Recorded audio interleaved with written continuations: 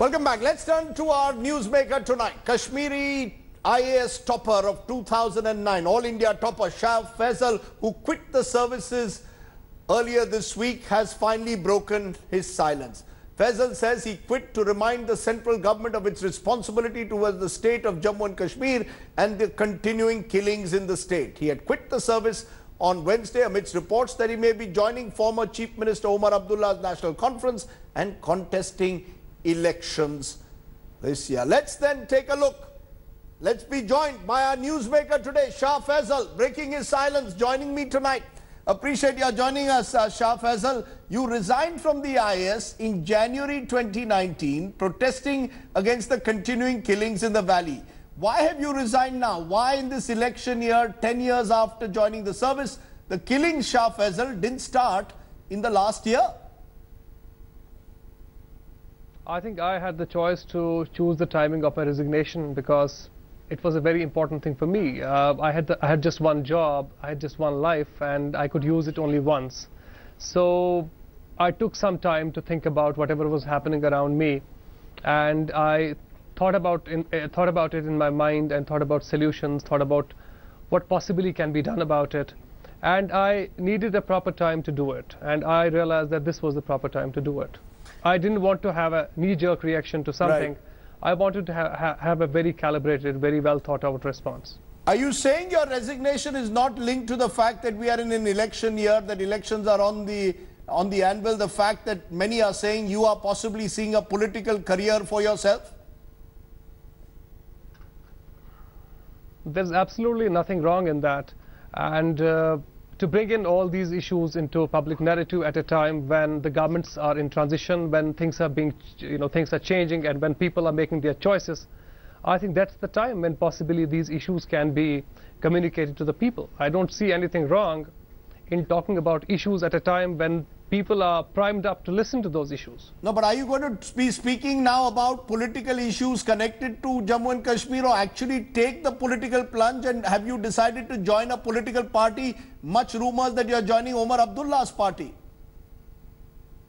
For me, what matters is that in Kashmir or in Jammu and Kashmir state this time, my idea is to kind of how we can possibly reimagine the electoral politics. We have seen the youngsters here have lost faith in the way elections are being conducted.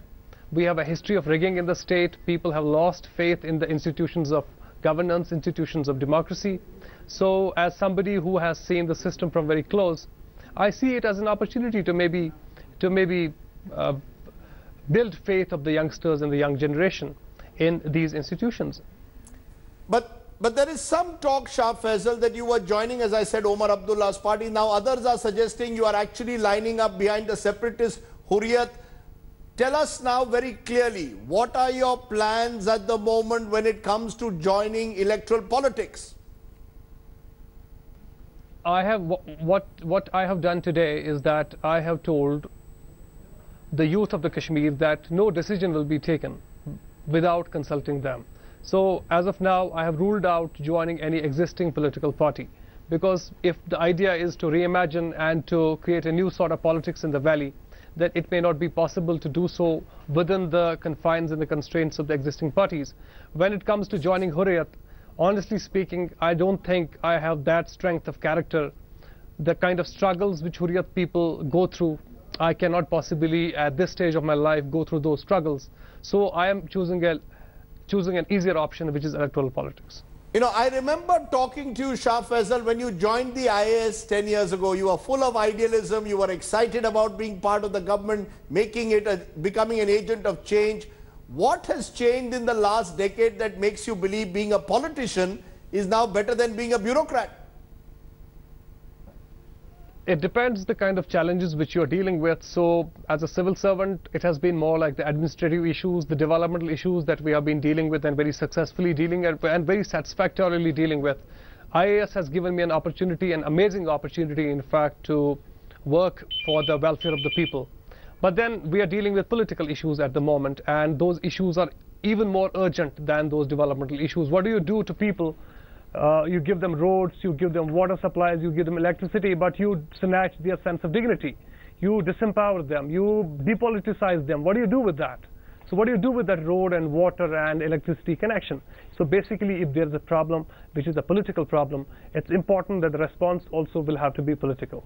You know, also when you top that exam, uh, a decade ago. You were seen as a role model, a Kashmiri topping the All India IAS exams. Today there are voices on social media who say that by leaving the IAS in protest of the killings in the valley, you have let down the Indian state, you are speaking the language of separatists, that the nationalist Shah Faesal is now anti-national. What would you tell them today?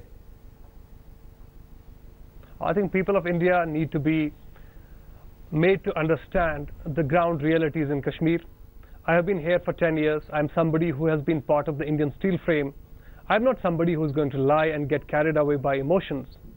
There is a problem in the field. Our education, our health, our tourism, everything will work only if something happens to the political dispute and something happens about the violent conflict which has been here.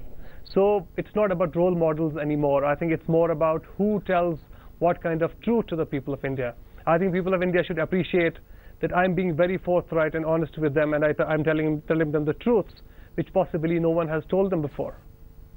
But you know, let's take a hard look at politics in the valley. Polling at times has been in single digits. Poll boycotts are enforced at gunpoint. Young people seem to be alienated. Some of them are turning to stone pelting against the army. How can you reimagine politics that you're talking about in a seemingly hopeless situation? Are you being uh, completely romantic about what's happening when the reality is so different?